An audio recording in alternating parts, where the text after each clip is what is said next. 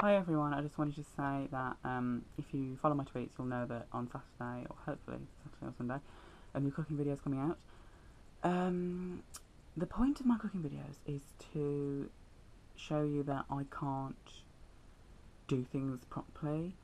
Like, for some reason, everything I do just ends up failing miserably. So, the point of it is, um, that's why it's called like medium, mediocre munchies or crap cooking or stuff. Um, I'm scrapping the names to start off with because that's just boring. Um, and I'm also, as of Saturday, every other cooking video will be different. I'm not going to do a voiceover telling me what to do anymore.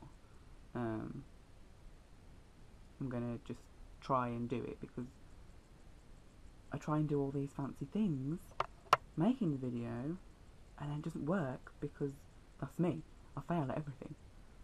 So, yeah, so I'm going to just make it me failing at the cooking, not me failing at trying to do fancy things like voiceovers and everything.